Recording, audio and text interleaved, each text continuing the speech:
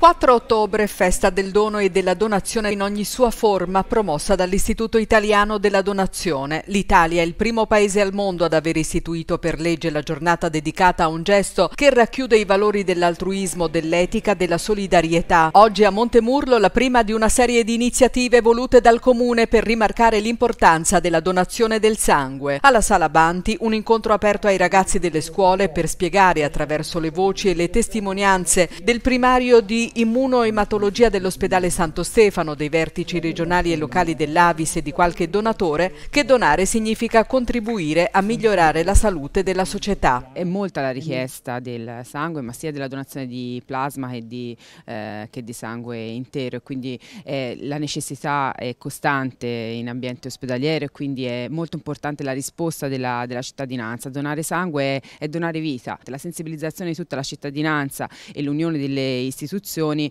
credo che sia un segnale molto importante. Il comune di Montemurlo ha messo in piedi una serie di iniziative tra le quali spicca la mostra fotografica Luce di David Ulivagnoli, una carrellata di immagini che hanno per unica protagonista la natura e che ben si sposa con i principi di generosità e di condivisione che rappresenta la donazione del sangue. È questo un momento anche difficile, un momento complicato dove magari eh, molto spesso ci sono anche fenomeni di individualismo, quindi è fondamentale fondamentale sensibilizzare la comunità e le persone nel concedere e mettere a disposizione dove è possibile parte di noi stessi per la comunità.